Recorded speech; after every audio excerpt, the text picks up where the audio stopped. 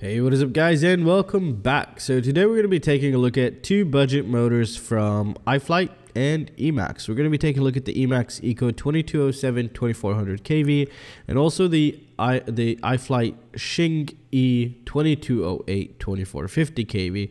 We're just going to be putting some numbers to these and seeing how well they perform, the overall efficiency, and just about everything you probably want to know about these motors. Now, excuse my voice and the way I'm speaking is because I've got you know a pretty bad uh, cold, if you might say, and um, yeah, I'm just still barely recovering from it. So let's get started here. So up top we have the Xing motor and on the bottom we have the Emax. And again, both of these were ran on 4S testing here. And for example, each line here represents a throttle level. So we have 50%, uh, 25% throttle, 50, 75 and 100% and that goes for all of them the motor plus the propeller that was being used. And also we have the grams here load which is in amperage volts power and overall efficiency being calculated. And I also have some charts to check its overall efficiency at different throttle levels which we're going to take a look at here. Immediately what you would actually tend to notice here is that the Xing motor the 2208 to be exact 2450 kV is a bit more power hungry. Yet at the same time it's more powerful and um, it's just going to be soaking up a lot of current because it's just pulling roughly always around 44 amps of current. It can pull more, but the whole system is limited to what I'm able to pull. So in, in reality, personally, I would not put this on a freestyle build. That's just my opinion. Uh, this is kind of my own taste. I don't want it to be too powerful. Lately, you know, as, as I've matured more and more, I'm looking more for efficiency and um, just you know longer flight times you know really enjoying what you're doing but if you're racing obviously you want something that's just like crazy powerful possibly even uh, even efficiency does play a big role uh, I'm not saying any motor of these is bad or good. I think they're both great motors, but this is a personal preference. My personal preference currently is going to the Emax Ecos, to be honest. I really like the uh, efficiency and the power draw here.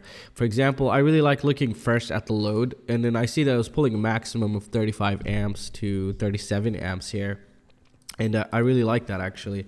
Uh, because that means it's just not going to be super intensive on the battery.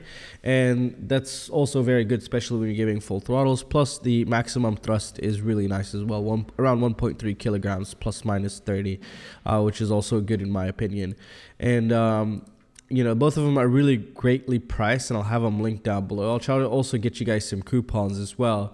And um, let's go ahead and take a closer look at the efficiency chart. So just to kind of give you a better representation of what's going on. So uh, the bars represents the thrust per motor. So the motor and the propellers are down here. And this red line represents the efficiency. And you want this to be higher. The higher, the better. The, the, higher, that means it's more efficient. And what we can see is the Emax Eco on a DAL 5043 is the most efficient. But don't let this fool you because it might look like it's a big, uh, you know, might look like a big difference, but it's actually not. It's all within 0.5 gram force per kilowatt, uh, per watt, sorry and um, so it's it's not that much of a difference in the efficiency, but is again slightly more efficient, but also the least powerful as well. But it's still a good thrust value, which is one around one 1.3 kilograms, which is really hella good actually for 35 amps. That, that's that's that's great in my opinion. Now, if we go down to 75% throttle, it's the same concept here, or it's the same thing. We see that again, that the Emax Ecos on a 5043 Dal prop are still the more the most efficient. But again, it's not by that much because if you take a look here, this is a 2.5 and this is just a 3. So it's just, you know, between 0.5 gram force per watt, which is not that much again. So overall, personally, for my own next build on the channel, it's going to be a 4S. It's going to be using Emax Ecos uh, just because I like the efficiency and I also really like the amp draw on it. Now the Xing is, is slightly more powerful and again don't forget it has a little bit more kV and it's also a slightly bigger. Uh, it's a 2208 so it's one millimeter larger than the 2207. Um, but both of them, I'm not saying one of them is bad, one of them is good. I'm just saying these are the numbers and my personal preference is going or just aiming towards the Emax Ecos here.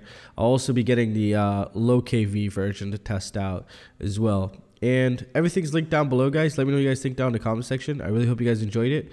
And um, I'll see you in the next one. Peace out, guys.